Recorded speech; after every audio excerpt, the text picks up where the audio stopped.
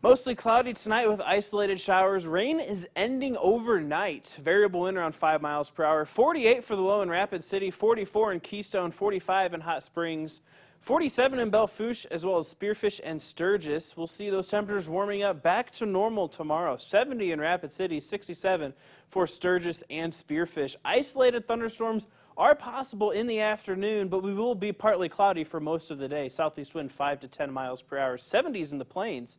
78 on Wednesday with isolated or with showers and thunderstorms possible. 76 Thursday. Uh, cold front's going to move through. We'll see rain likely Friday, 60 degrees. 63 on Saturday, mostly sunny. Mostly sunny Sunday, 73, 81 on Monday.